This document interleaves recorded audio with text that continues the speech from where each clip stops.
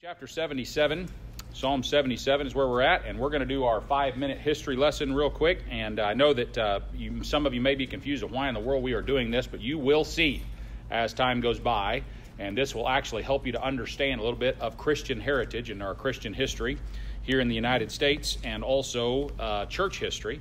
So that's the reason why we are uh, working on this. The Bible says in Psalms 9:17, "The wicked shall be turned into hell, and all the nations that forget God." And so we've been capitalizing on that kind of as our capital verse regarding this particular series. The, the, Bible also says, and here's the other passage of scripture that we're memorizing or that we're talking about Psalms 33 12 says, Blessed is the nation whose God is the Lord, and the people whom he hath chosen for his own inheritance. And we said last week, I understand that that has to do with the children of Israel specifically and the uh, nation of Israel, but blessed is any nation whose God is the Lord. And uh, the Bible in Psalm 9:17, whenever it says, "The wicked shall be turned into hell, and all the nations that forget God," that has to do with not just the uh, the children of Israel, but it has to do with all nations. So um, we're talking just a little bit about um, American history and church history. So with the effort of trying to get you un- understand what your American heritage is and then also a little bit of the understanding may go to your children. That's what we're hoping. Now, there's a crime that's happening in American history classes in the United States, and that is that we study American history and we, then we segment European history and church history from each other. Most of us did not take any church history whenever we were in college. Most of us did not take European history when we were in college. But you cannot fully understand American history without really understanding what's going on in Europe. So we're going to kind of combine the three as we go through. For instance, I'll give you an, uh, an example of this. Martin Luther, which was the beginning of the Reformation in Europe, was 10 years old when Christopher Columbus sailed for America. And the events that were going on in Europe are going to dictate what the history is going to be of Europe and America for the next 300 years of the events that are going on. So we're going to look at that and we're going to actually bring up a geography map. Don't let that scare you. I know most of us probably failed geography when we were in school. And if you went to public school, you probably never even took geography. So uh, we're just going to look at this uh, real quickly here. And this is Europe, and you've got Spain down here, modern day. This is this map is from the 1400s, from the 15th century here. And you got Spain down here in the south. You got France. You got England, and you got Italy. Those are the four main countries at this period of time that are kind of running the show, if you will. Um, uh, at this point in time, in the 1400s and in the coming up the 15th century, um, uh, art, the, Ferdinand and Isabel, which is the ones that, that wound up funding Christopher Columbus, are here in Spain. They're on the throne, and they have just fought and have just got done running the Moors out of Spain. And so in Spain right now, for 17 centuries, even before the time of Christ, the Moors had invaded Spain, and there had been kind of battles going back and forth, and the king and queen are involved in this great big battle here in Spain. And uh, uh, Isabella and uh, uh Queen, Queen Isabella and Ferdinand, they had just kind of won. And as a matter of fact, this war that had gone on Queen Isabella and uh, King Ferdinand, the reason why that they funded Christopher Columbus was because they wanted to say thank you to God for the victory that they had over the Moors. And so they wanted to fund the gospel going forward, and that's the reason why that they funded Christopher Columbus. Okay? So in 1492, whenever Christopher Columbus sails the ocean blue, the reason why that he gets the funding from uh, Ferdinand and Isabella, the king and queen of Spain, is because they wanted to say thank you to God, do something for God because the victory that they had over the Moors. And that's very important to remember that. England and France at this point in time are just coming up to the end of a hundred years war. Is what it's called. Anybody know how long the hundred years war lasted? It didn't last 100 years. It lasted 115 years. I don't know why they call it the 100 Years' War, but it's kind of funny uh, the, in, on Jeopardy periodically you'll see that as a question. Lasted 115 years approximately, and there's a little bit of uh, about 110 to 116 is what people say. But they're coming up to the end of the Hundred Years' War, and when the wars are being raised, the reason why I bring that up is because these three countries here, France, England, and Spain, all three involved in wars. And when you get wars begin, wars begin, you come up, uh, the rise of nationalism begins. That is, our country is the best. And there's a problem. Because at this point in time, The Catholic Church controls, the papacy controls all of this area. All the areas that you see right there, the Catholic Church is highly influential, and not just influential, but controlling.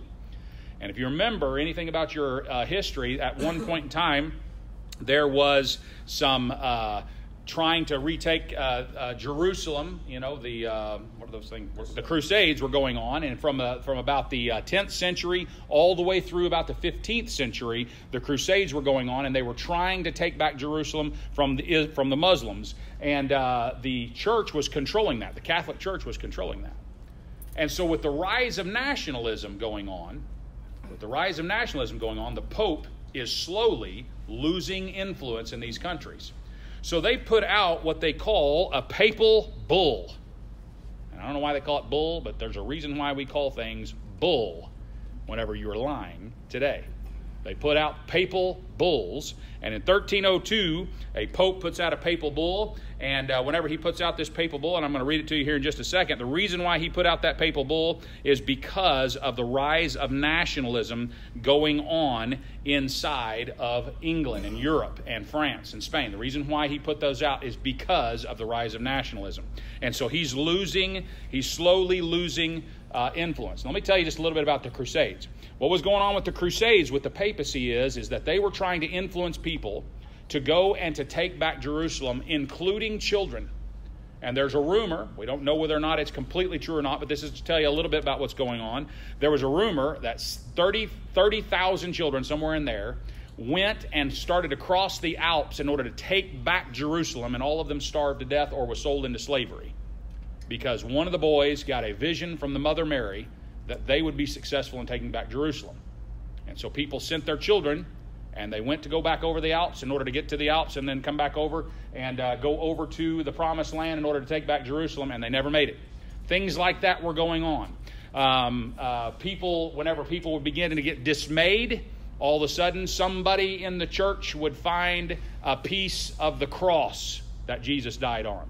And they would hold it up and say, This is a sign that we are going to be victorious.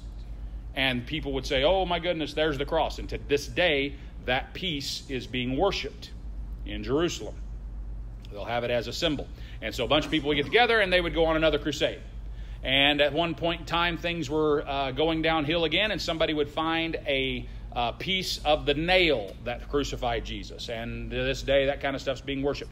Well, just coincidentally, at that time, uh, you know, everybody's morality or everybody's morals were down, and so uh, the, the Roman Catholic Church would come along and gain a little bit of uh, notoriety through those uh, findings, quote unquote.